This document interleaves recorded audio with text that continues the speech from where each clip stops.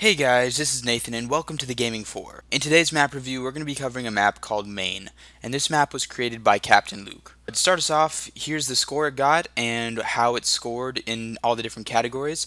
And as you guys will probably notice, this is going to be the lowest scored that we have done so far. Now, of course, for Captain Luke, if he's watching this, don't be discouraged. Um, obviously, not all maps can be top of the line, and probably as we continue, we're going to see more and more less popular maps that probably won't do as well. And that's because for the first bit of this map review series, we've been taking from the very most popular, and we're going to start moving into some more of the fan-made, and some of the ones that still need a lot of work. So don't be discouraged that it's got such a low score. There's obviously a lot to work on, but there's a lot of good things that happen in your map as well.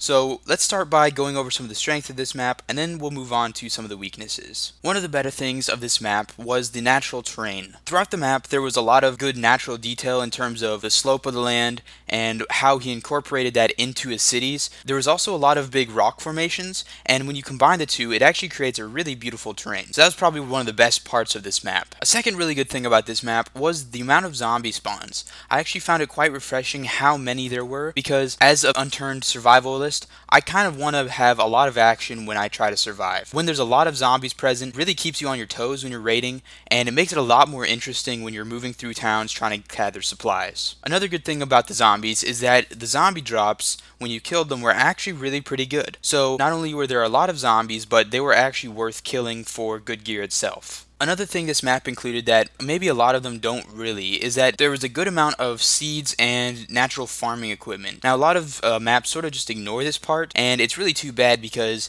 without it you can't really do the natural side of unturned survival, you know, where you just sit out in the woods and farm all the time. Now another good thing that's sort of related to that is that Captain Luke also included natural animal spawns and berry bushes. Now those two things are also quite uh, neglected by a lot of larger maps as well. And lastly, one of the nicer things that was also included in this map were boats, planes, and helicopter spawns. Now, they're not necessarily the most important, but because there was a lot of water in this map, the boats definitely helped. And also, just having planes and helicopters make moving through the map so much easier. So, it's really good that he included those, and pretty much every larger map should actually include those. Alright, so that's pretty much it for the strength of the map. Now, of course, they're a little bit shorter than some of the other maps, and that's sort of reflected by the overall score of the map. But let's move on to some of the weaknesses of this map, and a lot of the weaknesses were very critical to actually playing the map. So pay attention here as all map makers and make sure you don't make these same mistakes. So the first one I want to mention, and I've mentioned it many times before, is that there was almost no food in this map. And of course that's a big issue because as a survivor you need to eat and drink to survive. Now of course there were some food spawns, but they were definitely not nearly enough. So if you play this map, expect to starve multiple times, and that probably really was one of the main issues with surviving in this map. Another main issue is that there were no item spawns for a lot of the basic melee weapons needed for crafting and basic survival. So such as a handsaw, an axe, stuff like that that you really need to actually fully craft higher level gear. Another thing related to melee weapons is that there really were not enough decent weapons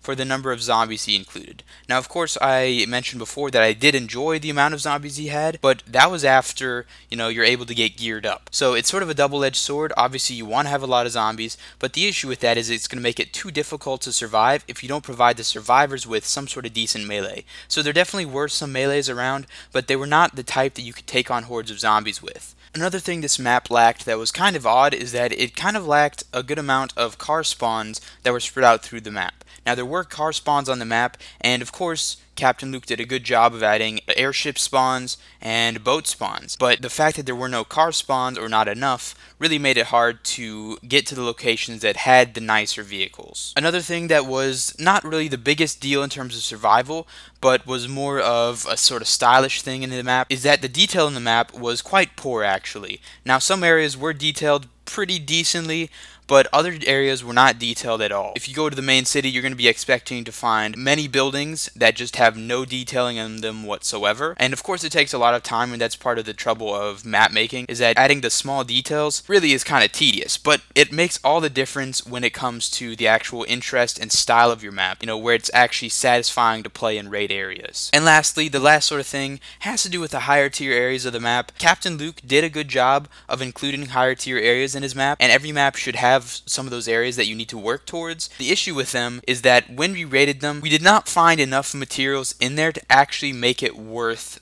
raiding them. So for example, if you're going to raid a high tier area of the map, you're expecting to find a lot of good automatics, maybe an Alice pack, you know, a lot of ammo, something that makes it really easy to survive later on. Well, we did find some of those things. We did find an Alice pack, but there's a large lack of ammo, and actually getting to those areas would have been really not worth it when it comes down to how much you get out of it. Alright, so that's pretty much it for the weaknesses of this map. Obviously, there's a few more that I could not mention. Of course, if you guys are interested in uh, checking out the map, there's the link below. Once again, here's the score that the map got and sort of why it got that. Thank you all for watching. Please like the video if you enjoyed it, and please subscribe if you want to see some more. I will see you all later.